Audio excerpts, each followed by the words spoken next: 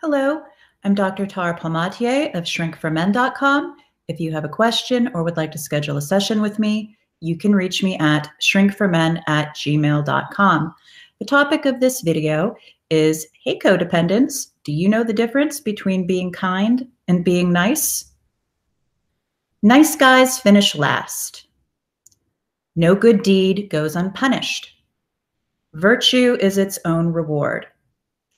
That all depends upon how one defines nice and one's motivation for, for, for, performing good deeds. Being nice in response to someone who consistently mistreats, exploits, and abuses you is you putting yourself in last place. Doing good deeds, hoping a partner or ex will appreciate and reciprocate after years of neither appreciating nor reciprocating, can feel like you're being punished if you're being honest with yourself, you understand that this is a form of self inflicted punishment. After all, assuming the role of relationship doormat is a voluntary position. You can resign at any time. Why do you continue to be nice to someone who consistently doesn't meet your needs and refuses to acknowledge or dismisses your feelings? What do you expect in return for being nice. Have you explicitly stated this? In other words, is it an overt contract or a covert contract? A covert contract is an unspoken expectation or rule in a relationship that only you know about and, when the expectation is unmet, results in resentment and anger. What do you expect in return for doing good deeds? Recognition, gratitude, reciprocity, loyalty, indebtedness. If virtue is its own reward, then the expectation of appreciation, admiration, or reciprocity for being virtuous isn't virtuous. At best, it's an unconscious manipulation. At worst, it's a deliberate manipulation. How can you tell the difference? Genuine generosity of spirit comes with no strings attached, not the expectation of being liked for doing the good deed or even a thank you. It just makes you feel good to do the kindness. If it's a codependent manipulation, you'll likely feel resentful, slighted, angry, or a sense of not fair if the desired fruits of your virtue don't materialize. Once you realize your relationship is unbalanced in the give and take department, say something to your partner. If they dismiss, deny, make empty promises and or respond by saying, uh, yeah, what's your problem? And you continue to give, hoping things will get better, that's on you. You're volunteering for more abuse and exploitation. This can be a tough pill to swallow for many of my clients. If you can relate to the material in this video, I'm in no way saying you deserve to be taken advantage of and mistreated. However, once you recognize this is what's happening in your relationship, it's your responsibility to stop participating in your own abuse. You can set and enforce boundaries and hope your partner will change and grow with you. Or you end the relationship if they can't or won't. Once this kind of dynamic's been established in a relationship, even if your partner isn't personality disordered, it's incredibly difficult to change. Being nice, trying to rescue, fix, save, or chronic caretaking in order to create a dependency in your partner is classic codependency. Codependent individuals confuse being needed with being loved, and there is a difference. The underlying belief is if you need me, you'll be nice to me maybe even love me. Codependents are nice and take care of their frequently disordered or addicted or just plain selfish, self absorbed, and immature spouses, family, or friends in the hopes that someday it will be their turn to receive similar care and devotion. This rarely happens. Typically, the codependent continues to give, caretake, and tolerate abuse and exploitation while growing increasingly resentful, demoralized, and depleted of energy, money, and their physical and emotional health until they become an empty husk. At this point, either the codependent's self preservation instincts are activated and they end the relationship, or the abusive, narcissistic, borderline, or psychopathic partner discards them for fresh, robust supply. These behaviors and attitudes are frequently learned in childhood. It's usually the result of being raised by parents or a parent who was abusive, neglectful, emotionally unstable, alcoholic, addicted, emotionally unavailable, personality, excuse me, personality disordered, or some other form of toxic dysfunction. As children, many adult codependents only received affection, attention, or were able to avoid abuse when they took care of their parents. And that's called parentification, a role reversal between a parent and a child. They also only received love or avoided abuse if they didn't bother their parents with their needs. This is why so many codependents have difficulty asking for help and support when they need it. They learned the painful lesson in childhood that they were basically on their own and help would not be forthcoming. Or worse, that they'd be punished, ridiculed, and abused for seeking help, support, attention, and love from their parents. Now, I want to discuss the difference between being nice versus being kind. Um, this video and the article uh, that uh, precedes it arose from a recent comment exchange on the Shrink for Men Facebook page. So, Mr. Facebook follower said, Choose someone nice and don't be an immature victim. It's not that hard. Ms. Facebook follower responded with, Nice is an artificial construct, a pretty mask. Look for kindness, responsible behavior, prudent management of time and money, compatible life goals, and similar spiritual values. Look for a woman who can make you laugh, who is just as happy to grab a picnic basket and have a quiet lunch in the park as to dine in a fancy restaurant.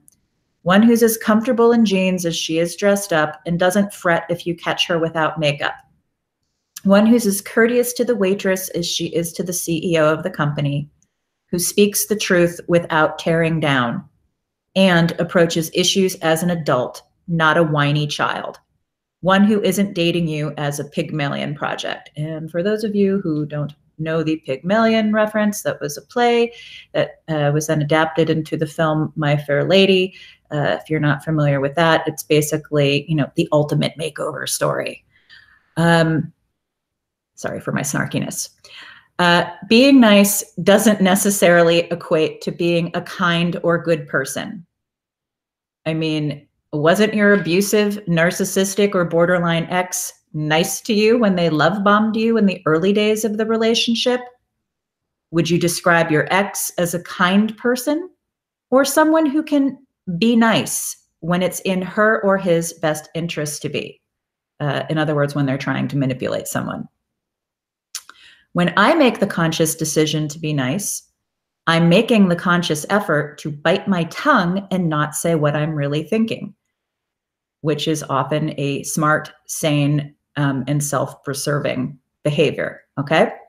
And there are different reasons for this. One, the person I'd like to lambaste doesn't mean anything to me and or I'll have little to no future interaction with them. For example, some jerk in the checkout line at the airport Therefore, it isn't worth the effort required to break the B glass in case of emergency.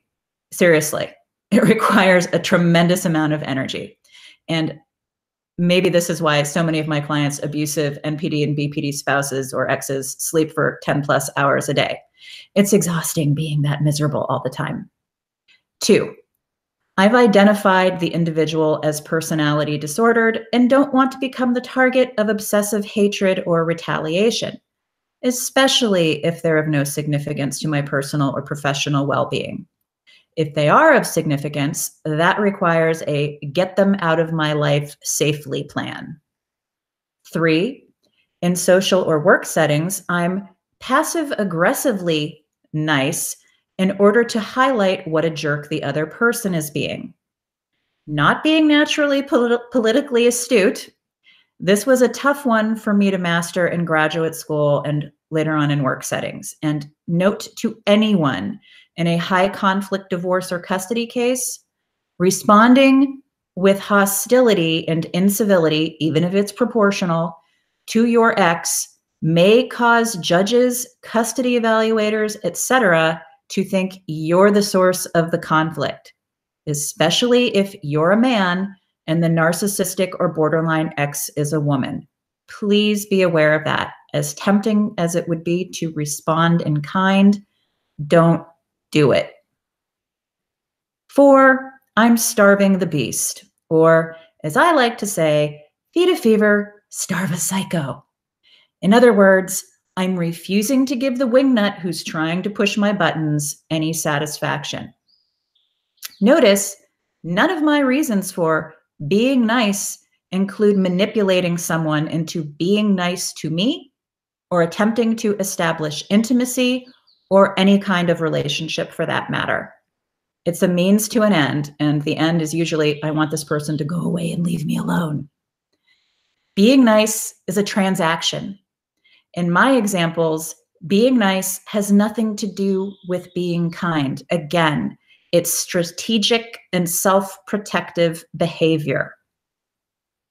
Kindness is neither strategic nor self protective.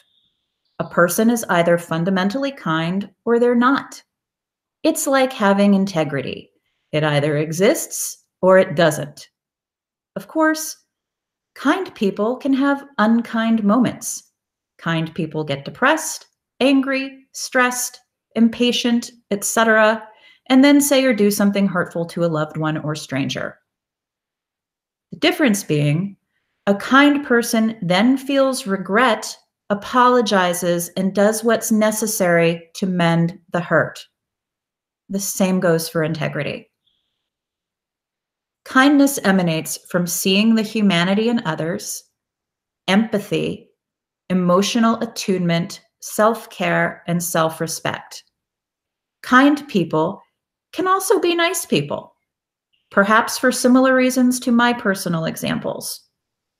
Doormats are usually nice because they're afraid, afraid they won't be liked, afraid their girlfriend or boyfriend or spouse will leave them if they share their true thoughts and feelings, afraid people will be angry with them if they say no, afraid they'll lose a relationship if they expect reciprocity. A former client explicitly said his goal in a relationship was to be the best doormat he could be. He believed that's how he'd be able to hold on to a now ex girlfriend who barely made the effort to hide her multiple infidelities from him. I believe my exact response to him at the time was, Oh, blankety blank, dude. No, just no. He claimed he felt good about being nice in response to her repeated betrayals. His depression, anger, and resentment said otherwise. He claimed he hoped his ongoing niceness would lead her to feel guilty and thus treat him better. This is how codependents manipulate. His doormatting began in childhood with a physically violent alcoholic stepfather and a mother who was so desperate for a husband she didn't protect her son. It was a survival coping mechanism that became his adult relationship identity. I'm happy to report that at the time of termination, he was in a healthy relationship with a kind woman. He had to do the work of practicing self care and self respect first, though. Being a nice doormat is the opposite of self care, self love, and self respect. You can be a kind person without being a doormat. Yes, kind people are also helpful people. I know, I know. You were just trying to help your narcissistic or borderline ex. At least, this is what most of my clients tell themselves until they begin working with me. First, do you know the difference between helping and enabling? Kind people help others in need, meaning you offer support or other resources to assist an individual in being able to care for themselves. Nice people enable others who may or may not be in need. You enable someone when you do the work for them that they're capable of doing for themselves. You also enable someone when you protect them from experiencing the natural consequences of their irresponsible, unhealthy, or criminal behavior. Enabling is often part of covert contracts, codependent relationships, and abusive relationships. And there's nothing kind about enabling. Second, precisely what are you trying to help your selfish, self absorbed, emotionally unstable, immature girlfriend, boyfriend, spouse, or ex do? Become a better person? Stop abusing and taking advantage of you? You're not going to accomplish that by being nice. When has a bully, a child bully or an adult bully, ever stopped being a bully because their victim was nice to them after being bullied? All that does is result in you being bullied more. Oftentimes, the kindest thing we can do for someone who is behaving self destructively is to allow them to suffer the consequences of their choices. That's the only way some people learn and grow. Then there are people who don't mature and evolve, no matter how many natural consequences they experience. These individuals are usually personality disordered. If you're a kind person, my advice to you is to stop being nice to people who deliberately and repeatedly hurt, deceive, exploit, and betray you, unless, again, it is for a strategic and self-preservation reason, in which case it's a short short-term strategy, not a way of life. You don't have to sink to their level, but be kind to yourself. Get away and stay away from them. If that's impossible, due to shared minor children, limit contact to the best of your ability. No one respects a doormat, especially not bullies, the opportunistic and exploitative, and the personality disordered. Rather, they see you as the perfect target. Now, what sounds better to you? Being a nice person or being a kind person? Thank you for watching. Again, I am Dr. Tara Palmatier of shrink4men.com. If you have a question or would like to schedule a session with me, you can reach me at shrink4men at gmail.com. Have a good day. And stop being so nice.